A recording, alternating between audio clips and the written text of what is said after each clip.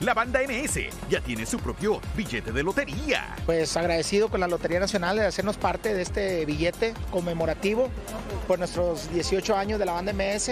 Estas fueron las palabras de Sergio Lizárraga, líder de la agrupación, con respecto a este nuevo logro. Por otro lado, cuestionamos al músico sobre los problemas legales que enfrenta con su disquera Cristian Nodal, quien recientemente grabó con la MS la canción Sin Vergüenza. Oh, la verdad ignoro todos los, los problemas que pueda tener mi compañero yo la verdad la canción a mí me encanta y es lo que, es lo que me enfoco. Tenemos más videos que seguramente serán mejores que, que acabas de ver. No te olvides de suscribirte a nuestro canal acá para que disfrutes de todo lo que tenemos para ustedes. Por ahora, eh, eh, también un like sería chévere.